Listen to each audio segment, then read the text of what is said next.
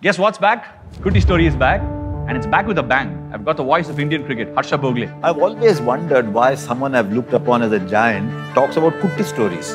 Because when we were small, Kutti was Kutti was that, you know, little Kutti. But he tells good stories, and I'm delighted to be part of Kutti stories.